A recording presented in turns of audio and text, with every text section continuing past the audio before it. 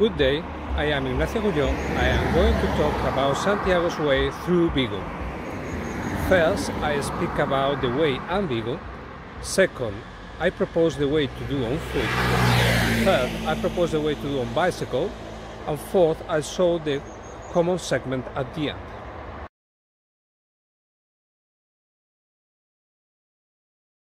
Santiago de Compostela is one of the three main centers of pilgrimage of the Christianity, together with Jerusalem and Rome.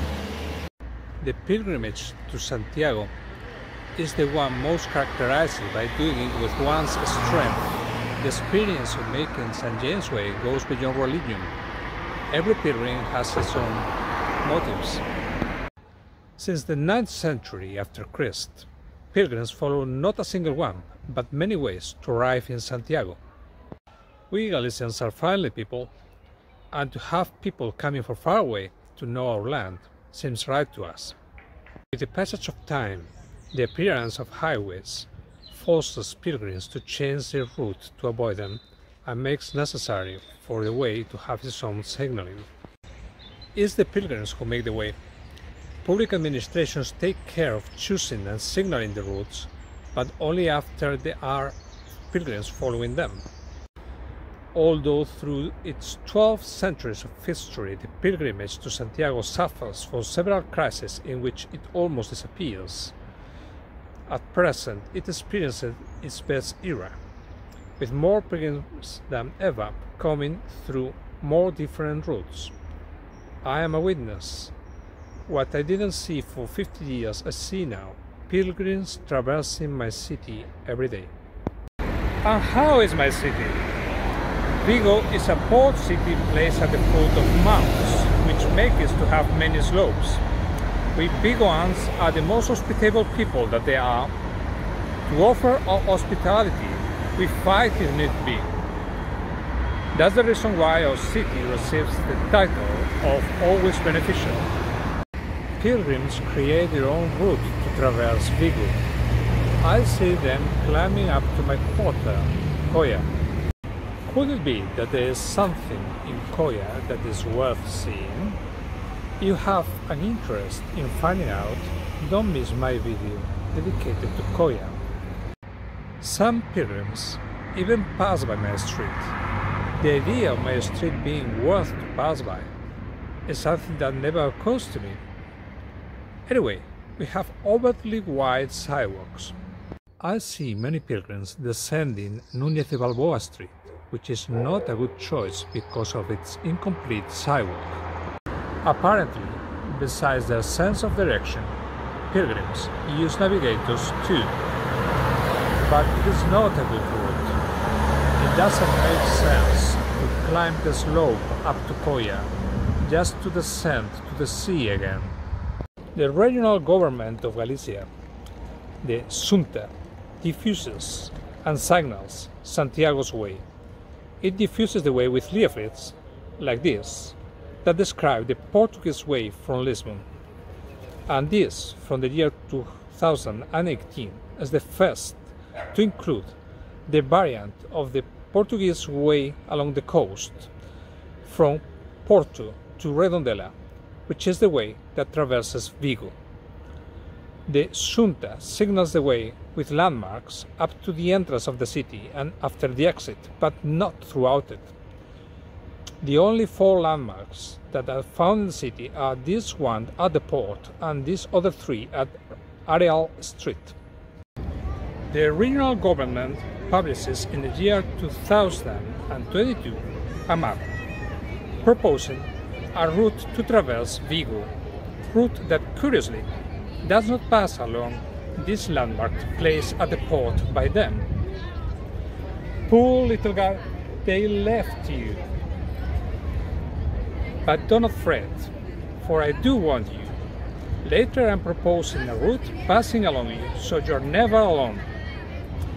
The route proposed by the regional government isn't still signaled, but shops and bars in Vigo compensate by placing signals on their windows. I have the occasion to learn this route on June 2024 when the regional government organizes a hike to make this route known and gives away this cap and this t-shirt to the participants. What I have to say about this is thank you country people, but this route is not the solution for it is not better than the routes that the pilgrims are already following.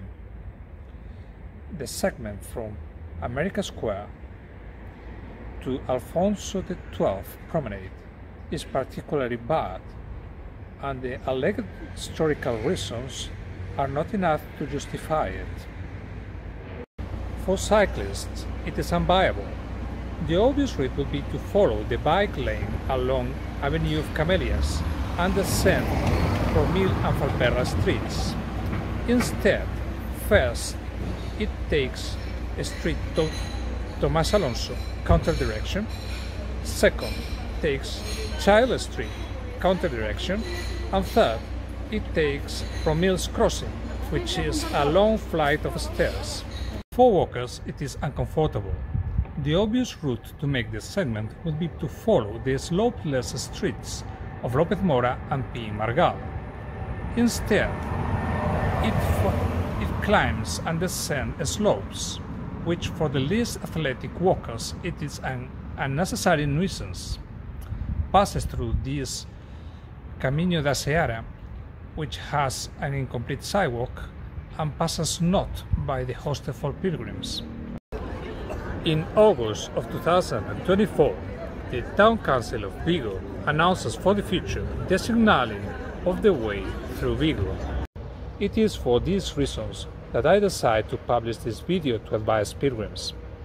The roads use are not the best ones and are not signaled yet. What we need are routes for walkers and cyclists that pass by the hostel for pilgrims and also reduce to the minimum the amount of slopes, of traffic lights, and of segments shared with motor vehicles. Besides, those pilgrims wishing to obtain the certificate called the Compostela need this pilgrim credential to carry along the way and stamp a couple of times per day. This credential can be acquired for a price than one euro and a half at the tourism offices from the regional government.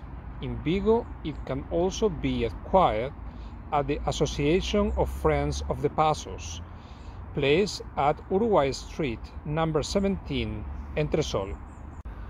To obtain the Compostela, it is required to follow the way along a minimum distance, which is 100 kilometers on foot and 200 kilometers on bicycle. The distance from Vigo is 103 kilometers.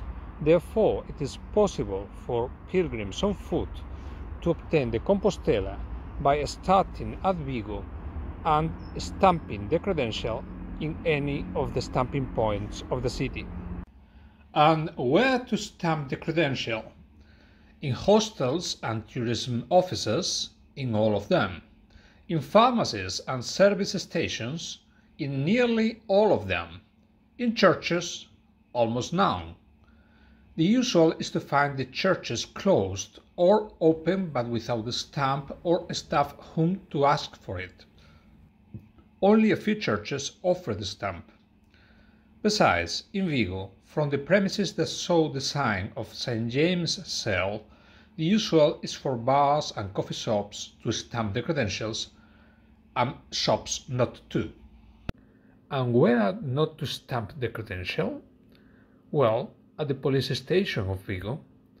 They stamped the credential there during the pandemic, but they no longer do. The Portuguese way by the seaside comes from Bayona. This is the last signal before entering Vigo, placed in the road PO 324 and points to the fourth bridge over the Lagares River, counting from the sea and this is the first sign after leaving Vigo. Placed in the road PO552 next to the fire station. So, I just have to guide you from that landmark up to the sign. Easy, isn't it? Actually no, it is more complicated. Why? Because you programs make it more complicated. Here we see the sea, the mouth of the Lagares River, and the first bridge coming up its course. Here I see entering Vigo. I also see following the seaside path from Alcabre to Bouzas. You are following on the shore by all means. But I am not intent on convincing you to change. On the contrary, it's you who convince me. Following the coast has its advantages. First, you don't get lost. 2. No slopes. 3. Cooler temperatures. Fourth, because on no streets running into the sea, walkers following the shore have no crossings to traverse, no traffic lights to wait at. Only have to avoid entering the large port zones of Vigo. So I'm taking you into consideration too, before recommending my routes. Instead of a single starting point, we'll have two, the first and the fourth bridge over the Lagares River. This is the map of Vigo. The two arrows on the left represent the entrance to Vigo through the first and fourth bridges over the Lagares River, separated by 750 meters. The arrow on the right represents the exit from Vigo. Vigo has roads reserved to walkers and cyclists, which would be the ideal way to traverse the city. This is the blue path that follows the course of the Lagares River along 8 kilometers from its mouth. The start of the path is next to the first bridge over the Lagares River, so all of you pilgrims pass by it. If you want to learn more about this path, don't miss my two videos about following its course along the upper and lower course. In the map, we are representing this route as blue. This is the greenway built over the course of the old railway.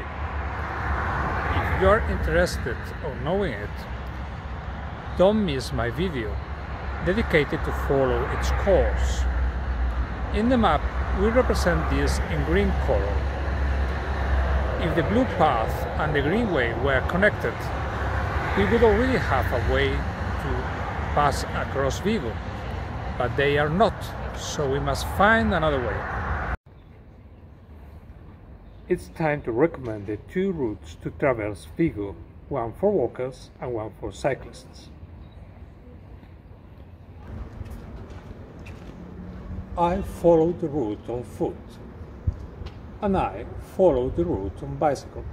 Easy, isn't it? Part 2 Optimal route on foot. Route by the Soo, passing by the public hostel in Vigo. This is the route that I recommend to walkers and to cyclists that are going to spend the night at Vigo. It starts at the Lagares River and follows the shore. It is not the shortest route. It measures 750 meters more and another 750 meters if you start at the fourth bridge because of having to descend down to the first one. But yes, I still recommend it because of having no slopes and walkers have just to pass a single traffic light before reaching the hostel. Two good reasons. Pilgrims following the landmarks arrive to this place, the fourth bridge over the Lagares River. In that case, we have to descend the course of the river down to the first bridge. But instead of crossing this bridge, we'll follow the blue path along this bank of the river and cross through the second bridge, which is pedestrian. This is the start of the blue path next to the first bridge over the Lagares River. Here comes the pilgrims that follow the shore.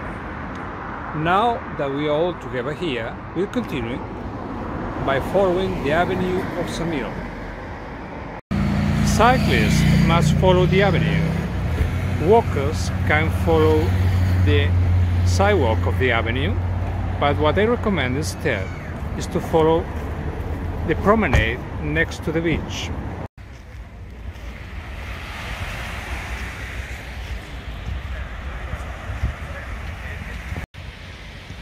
Only walkers.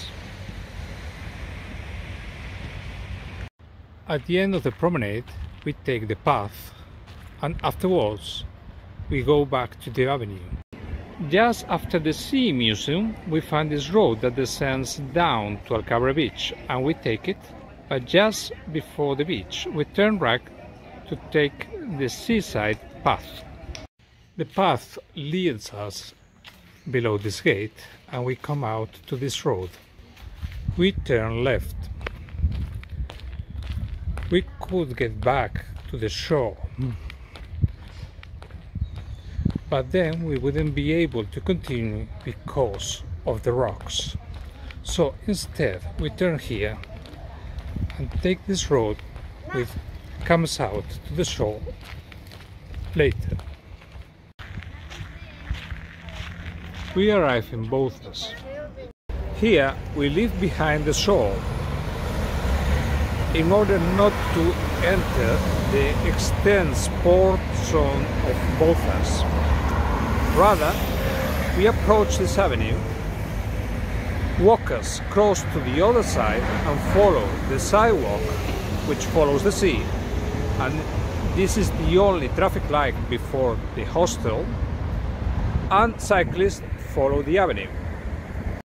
We arrive to the entrance of the port zone of El Berbés and we avoid getting into it. Those willing to continue the way towards Redondela should follow by the shore, but those wanting to spend the night at Vigo should cross to the other side of the avenue because we are arriving to the hostel.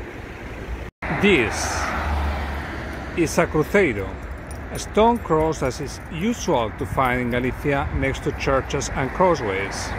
And behind there is the public hostel in Vigo, here they stamp the credential. After the hostel, we continue. Cyclists go through the avenue and walkers go through the walkway in the opposite side next to the sea. In the opposite side, we see the tourism office from the regional government, where they stamp the credential and also sell credentials. And here we find this bike lane limited to 10 kilometers per hour, which we are going to follow, cyclists on it and walkers outside it. We see that it leads us to our old friend, the abandoned landmark in the port. Here you are, old friend. See how I came back? I made my promise good. The bike lane ends here in the Estrella Square. What we do now is to go across the square and go out to Areal Street, which we are going to follow. We left Estrella Square and are now at Areal Street, which we are going to follow from now on, on this side. But we are making an exception. There's no way to pass the next round point except by crossing to the other side, then crossing back to this one. We pass the round point and continue through Areal Street. This part of the route matches the one proposed by the regional government and here at Areal Street we find the three landmarks. When we arrive to the end of Areal Street, we take Isaac Peral Street up up to the round point, then turn left. We are at Garcia Barbon Street. At this round point, Garcia Barbon Street ends and Sanjurjo Badia Street begins with this pharmacy where they will stamp your credential. At this point, the route gets away from the shore and does not get close to it again. Followers of the coast by all means, we have to go. If you insist on going around the pole through this street, you'll eventually get to the tennis sports court and from there you will be able to find paths and roads up to Chapela Port. But from there you won't be able to continue. Between Chapela and Redondela, the mounts are very close to the sea, leaving almost no space. The only road going through there is the National Road PO 552, which is a road with heavy traffic. From that road, three other roads descend down to the sea, but they are not connected between them. You will be left with no choice but to walk on the shoulder of the National Road, and I'm telling you, you don't want to walk on the shoulder of a road with heavy traffic. And for Chapela it will be hard to reconnect to the signaled route because it passes away from the shore. So, followers of the coast by all means, we have to say goodbye to the shore and take this street up. We are at the end of Sanjurjo Badia Street.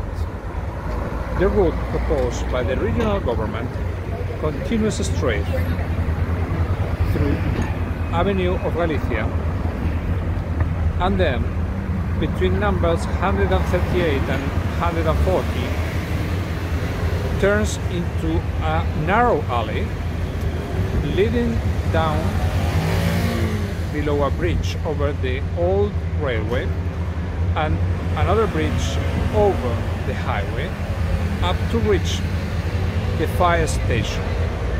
I don't recommend that route because of not having sidewalks and because of having steep slopes. Instead, I take Buenos Aires Street that has sidewalks, has a softer slope, and passes over both the old railway and the highway. At this point of Buenos Aires Street, the optimal route on foot joins the optimal route on bicycle, which comes through this way. We are all together now. It only remains the last common segment. Part 3 Optimal route on bicycle. Route through the blue path and the cycle lane that doesn't pass by the public hostel in Vigo. This is the route that I recommend to cyclists that are not going to spend the night at Vigo. Of course, walkers can follow this route too. Vigo, city of slopes, hardly propitious for cyclists, has a single bicycle lane that traverses the whole city from the avenue of Castelao to Buenos Aires Street. Speed is limited to 30 kilometers per hour. There are other bike lanes, but those are toy bike lanes with speed limited to 10 kilometers per hour. We follow the blue path up to the Balaídos Stadium and after that we follow Fragoso Avenue up to America Square from where we follow the bike lane up to the square of Isabel the Catholic and from there we descend down to the train station and there we take the Greenway. Here we see the first bridge over the Lagares River. Here come the pilgrims, they follow the shore. And here we see the start of the blue path that follows the course of the Lagares River. This is the route we are going to take. Upon arriving to the second bridge over the river, we cross it and continue on the other side. We arrive to the fourth bridge over the Lagares River. This way come the pilgrims that follow the landmarks. Now that we are all together, we'll continue the blue path, but rather than crossing the fourth bridge, we'll continue on this bank up to the fifth bridge, which is pedestrian, and cross there. We have arrived to Balaídos Stadium. Here we'll leave the blue path, we'll go around the stadium, then take Fragoso Avenue up to America Square, where we'll take the bike lane. Just before getting to America Square, you have to take a detour because the last segment is reserved for buses, taxis and motorbikes and we cyclists are none of that. Across Independence Square, the bike lane is signaled using these little signs on the floor. By following the bike lane, we arrive to the square of Isabel the Catholic. And from here, to arrive to our destination is very easy. We only have to continue to follow the bike lane up to the end of Pizarro Street, then through Travesía de Vigo. And at the end of Travesía de Vigo, continue straight by Street Ángel de Lema Marina, and we'll reach our destination. It's only 3 kilometers 300 meters, but there are 24 traffic lights and the bike lane disappears for one kilometer and a half of Travesía de Vigo, then it appears again. So, rather than doing it, I recommend you to come here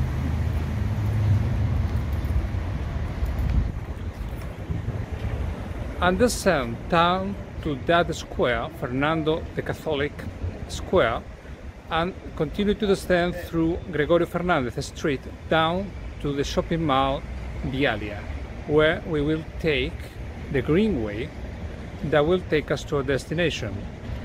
It's the same distance, 3 kilometers 300 meters, but there are only 5 traffic lights, 3 before the Greenway and 2 after it. To descend to this square, we can take Brazil and Santo Domingo streets or we can take this elevator. Once at the Fernando the Catholic Square, we descend by Gregorio Fernandez Street and go across Via Norte to reach this mini bike lane that leads us in the direction of the Greenway. Now we are at the true start of the Greenway. It's easy to continue. We'll pass below a bridge and when we'll be about to pass below a second bridge, we'll take the exit that will lead us to up the bridge. We left the Greenway and are now at Buenos Aires Street, just at the end of the bike lane.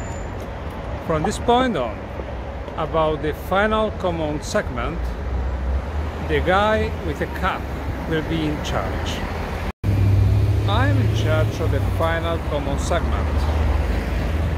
This point, where both roads join, happens to be almost exactly 100 kilometers away from Santiago. Whoever wants to obtain the Compostela certificate by going on foot needs to have his or her credential stamped at least once before getting here. Please observe on the other side of the road a narrow road, the Suncal Road, that takes almost exactly to the fire station. But we are not taking that road. It is narrow, without sidewalk, and with a steep slope. Rather, we are going to the end of Buenos Aires Street and at the final round point, turn left. And finally, we arrive to the first sign after Vigo. This sign indicating a turn right. My job of guiding you through Vigo is now finished. Are you ready to continue the way? No, you're not. How so? Because the route to Redondela is badly indicated twice. First arrow, This time is wrong. It indicates to turn right at the very first way, which is Buraquinhas way, that will lead you in the opposite way. Rather, you have to take the second right 25 meters ahead, which is Paradela Street, that will take you in the right direction. A few meters after you will find another sign confirming that the way is correct. Second error. The regional government chooses a way that coincides partly with an older way called the route of the water, signaled using waves rather than St. James shells. The regional government decides to save their signs and thus count on the pilgrims following the waves, in spite of not warning them in the leaflet. In particular, there's a junction in which the waves signal left.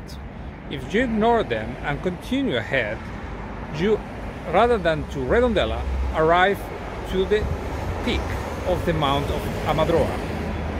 So you are warned. If you want to arrive to Redondela, you need to follow the waves as well as the St. James shells signs. At the end of the route of the water, the signals with St. James shells continue. Are you ready to continue? Yes, now you are. Good way, always join Santiago.